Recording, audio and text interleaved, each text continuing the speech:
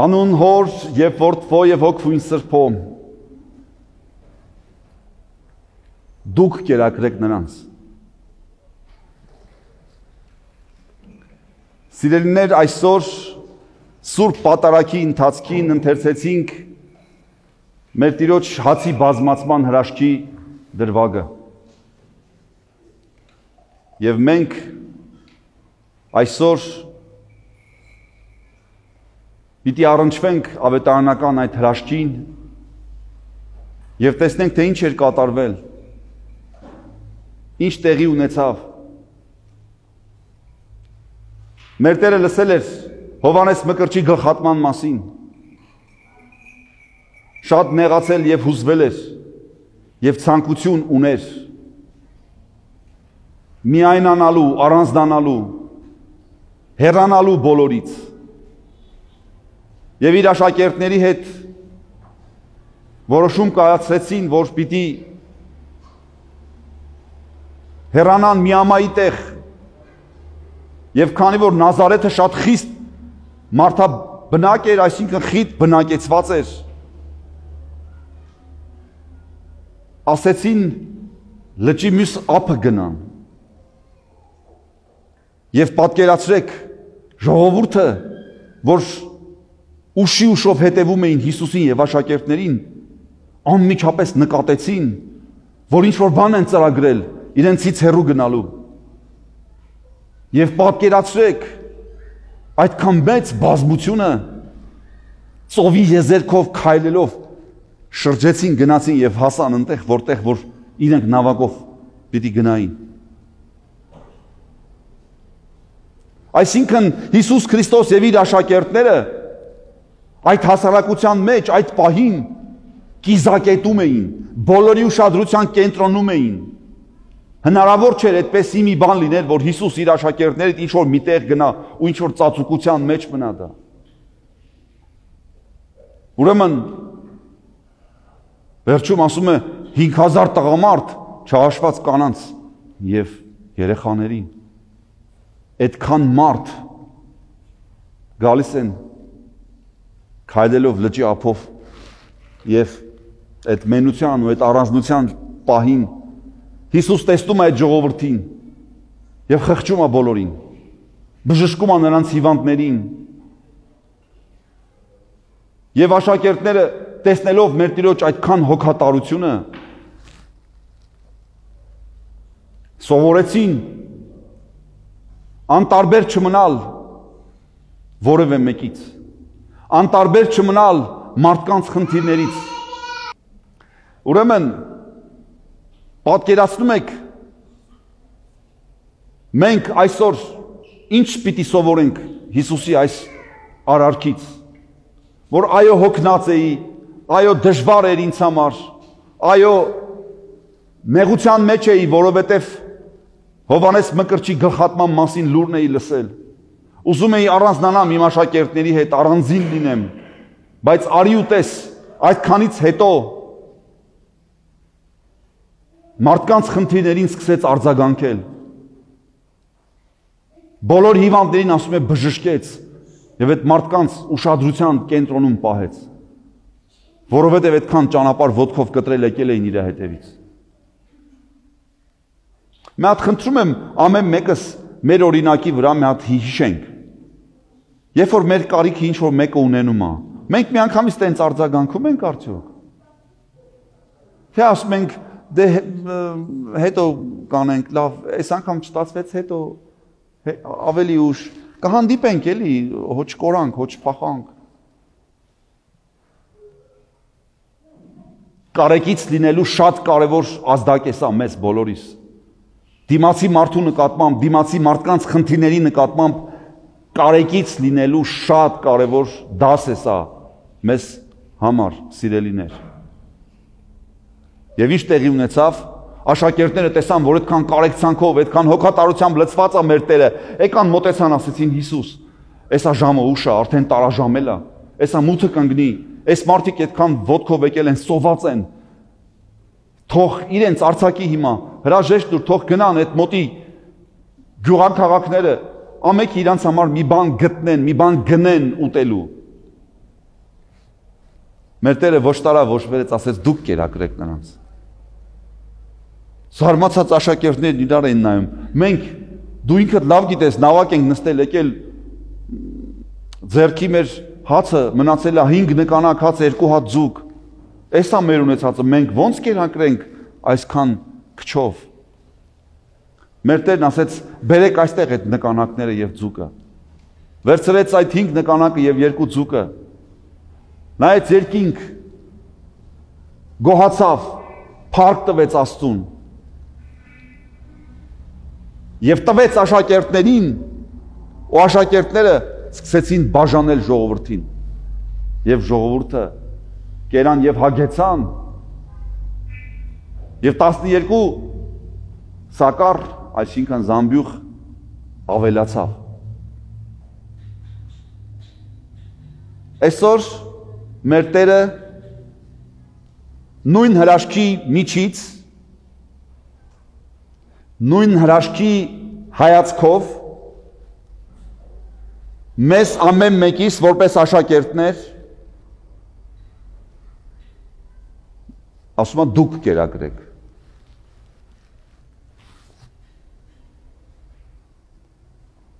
Աշակերտներն ինչ էին մտածում։ Այ մարդ 5 հաց ունենք, 2 ձուկ։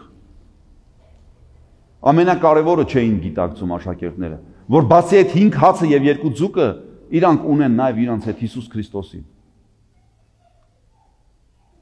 Երկինքն ու երկիրը արարող Աստծուն։ Եվ երբ որ մենք ամեն մեկս գալիս ենք այստեղ որպես աշակերտ եւ ասում ենք Տեր, մեր միջոցով ում պիտի կերակրես։ Ինչ կերակուրավոր պիտի տաս մեր միջոցով։ Ձեզանից շատ բան չի պահանջվում, ինձանից, ձեզանից շատ բան չի պահանջում մեր Տերը։ Ժողովուրդ։ Այդ 5 հացը երկու ձուկը մեր ընդամենը, չգիտեմ, տեսնելու, լսելու, մարդկանց հետ շփվելու, լավ հասկանալու մարդուն, հա այդ կարողություններն են, որ պիտի բերենք այսօր եկեղեցի Աստծո առաջ ասենք Տեր, այս 5 այս 5 հատ հացն է, այս երկու հատ ձուկն է մերը։ Ինչ պիտի անենք։ Բազմացրու։ Դու բազմացրու։ Եվ այսօր ինքը բազմացնելու է իր մարմինն ու արյունը։ Բաշխելու է ձեզ։ Տեսեք, ես մի հատ փոքրիկ հացը ամեն ինչ խորհրդի մեջ է։ Տալու ենք ձեզ ամեն մեկի, ամեն մեկը ձեր բաժինը ունենալու եք։ Եվ այդ հոգևոր հացը, որ այսօր ստանալու եք, այդ հոգևոր հացը պիտի տանեք ու բաժանեք։ Եթե այդ հացը կերակ կշտացակ մենակ դուք եւ չփաժանեցիք, չպատկերացնեք թե ուրիշ բան է տեղի ունենալու։ Այսօր հռոմեացիների թղթի մեջ ասվեց. Ձիթենու ծառը, չէ, ճուղերը կտրել էր Աստված, այսինքն հрьяաներին, որ ձեզ որպես հեթանոս ան Աստծո կյանքից, Աստծո ընտանիքից հեռու եղողներ բերեր եւ պատվաստեր Հիմա ասում այդ պատվաստված ճուղեր, ինչի եք այդքան տենց ձեր մասին մեծ կարծիքի։ Եթե բուն ձիթենու ճուղերը չի խնայել, ձեզ էլ չի խնայի։ Դուք պատկերացնում եք 20 հազարանոց Իջևան քաղաքում քանի հոգի եք ստեղ։ Համայնքները չեմ հաշվում հլը։ Առաջին քրիստոնյա հայ ժողովուրդ պատկերացնում եք, այս ինչ վիճակի մեջ ենք, որ կիզակետում շատ շատերիս կյանքի նպատակում դրված չի Հիսուս Քրիստոսին մոտենալը, դրված չի հավատքով ապրելը։ Ինչ որ խնդիրներ ա ծնվում, ինչ որ մարդիկ խնդիրների մեջ են ընկնում, նոր են ուզում գան մոտիկանան Աստծուն։ Այնինչ Աստված ստեղծել է մեզ, արարել է մեզ, որ մենք արձագանքենք իրան։ Մեր Տեր եւ Փրկիչ ճանաչենք, գանք այստեղ աշակերտության մեջ լինենք։ Կերակրվենք ինքներս, կերակրենք մեր շրջապատում եղողներին։ Եթե այս ամեն ինչը չարեցինք, սիրելիներ, այս մեծ պարտավորությունը մեզ վրա, եթե մենք այս պարտավորությանը վերաբերվեցինք մատերի արանքով, հավատացնում եմ ձեզ, մեր հարևան ժողովուրդները գալու են մեզ նայեն ասեն օրինակ պարսիկները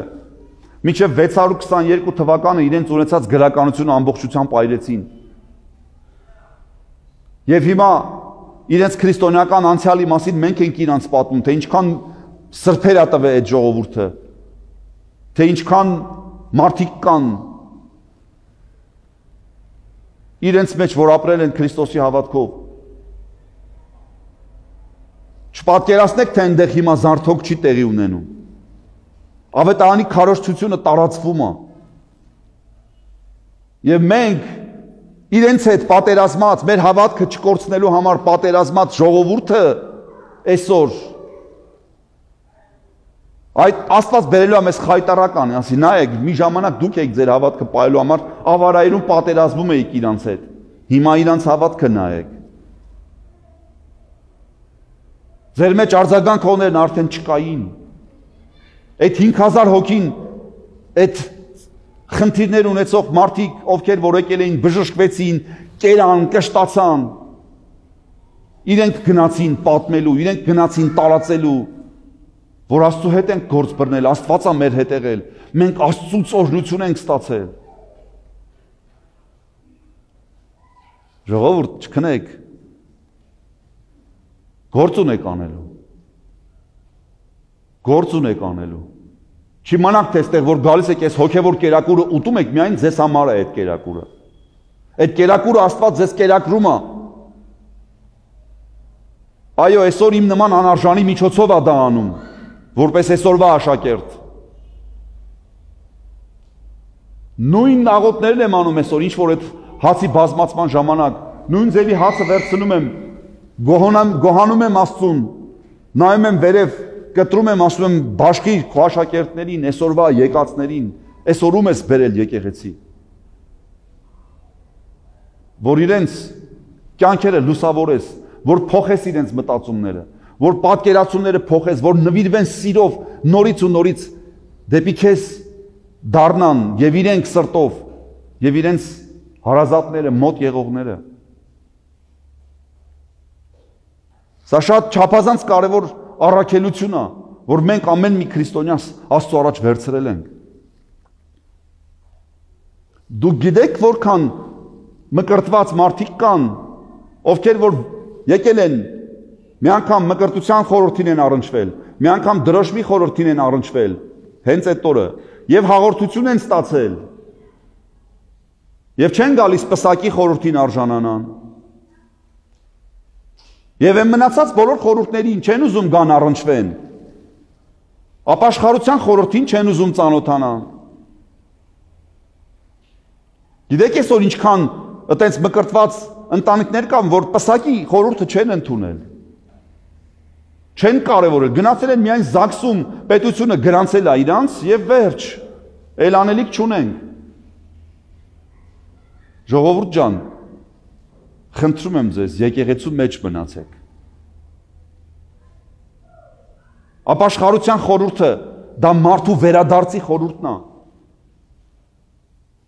Նորից ու նորից վերականգնվելու իր Երբեմնի կորցրած պատիվը վերականգնելու շատ կարևոր խորհուրդն է։ Եվ այդպես եկեղեցու բոլոր խորհուրդները շատ կարևոր են ամեն մեկիս համար։ Մի բավարարվեք միայն նրանով, որ եկա Կիրակի օրը միասին սենց անկեղծ գոռացինք, երգեցինք, փարաբանեցինք, չգիտեմ, սենց աշխուժություն կա մեր մեջ, փառք Աստծուն էս ամեն ինչի համար, բայց միայն սրանով մի գոհացեք Եկեղեցին ավելի խորն է, քան դուք պատկերացնում եք։ Եկեղեցու հոգևոր ժառանգությունը ավելի մեծ է, քան դուք պատկերացնում եք։ Եվ եթե դուք այսօրվա աշակերտները լինելով այս հոգևոր հացը, այս հոգու հացը այստեղ պիտի ճաշակեք ու չթողեք որ բազմացնի Աստված։ Լավ չի լինելու, հավատացնում եմ ձեզ։ Թողեք Աստված բազմացնի ձեր կյանքի մեջ այդ շնորները։ Պատեհ, անպատեհ, տեղին, անտեղին, Պողոս Արաքյալն ասում, խոսում եմ, ավետարանում եմ, այնպիսի տեղում եմ Քրիստոսին վկայում, որ ոչ մեկ չի, չի սպասում, որ այդտեղ հնարավոր է Քրիստոսի մասին խոսել։ Մենք մեր կյանքով, մեր վարմունքով արդյոք այս վիճակի մեջ ենք թե ոչ։ Ես տեսնում եմ, որ ոչ։ Որ ձգտում ունենաք։ Որ ավելի ձգտում ունենաք։ Հոգևոր կյանքը այնպիսի կյանք է, որ չի կարելի մտնել ու դոփել։ Հոգևոր կյանքը զարգացման կյանք է։ Իմ ներսում Քրիստոսի նորոգման կյանք է։ Նոր մարդու, Քրիստոսով ապրող նոր մարդու նորոգման կյանք է։ Մաղթում եմ ձեզ, որ դուք այսօրվա աշակերտները լինեք Եվ այս բազմացած հացը հոգևոր որ պիտի ճաշակեք, այդ ուրախությունը ունենաք գնալու ժողովրդին բաժանելու այդ հոգևոր հացը Հիսուս Քրիստոսին ուղղորդելու բոլոր մարդկանց, որովհետև Աստված չի ցանկանում որևէ մեղավորի կորուստը այլ բոլորի ապրելը եւ կյանքի մեջ լինելն է ցանկանում մեր Տերը Սուրբ խաչի զորությամբ թող Աստված ուղի ձեր քայլերը պահի պահպանի որպես այսօրվա աշակերտներ եւ բազմացած հոգեվոր հաց ուտողներ որպեսզի կարողանաք ճշմարտության լույսը տարածել ձեր շրջապատում ամեն